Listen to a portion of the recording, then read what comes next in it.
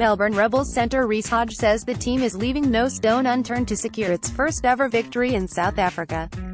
Rebels have travelled to the Rainbow Nation to face the Bulls at 11.05 p.m. Australian Eastern Standard Time Saturday night as part of a two-game tour.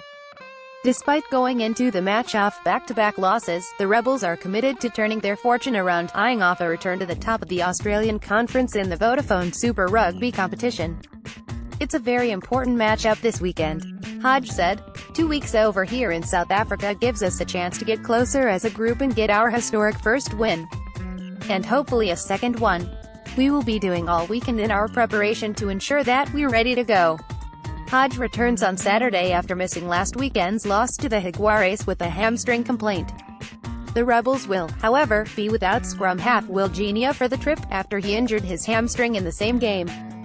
But junior Wallabies halfback Harrison Goddard and 27-year-old Michael Ruru are ready to step up in Genia's absence. We have full confidence in both of them, Hodge said.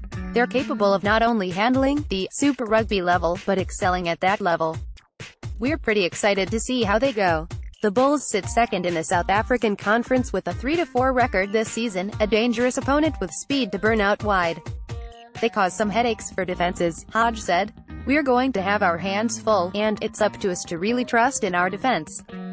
But in saying that, we've got some pretty dangerous outside backs ourselves and ones that are very good at defense as well. It's going to be an exciting match known for his super boot, sending the ball into orbit despite the aid of the African altitude. Hodge said he is happy to sit behind fly half Jack Debreczeni on the kicking duties.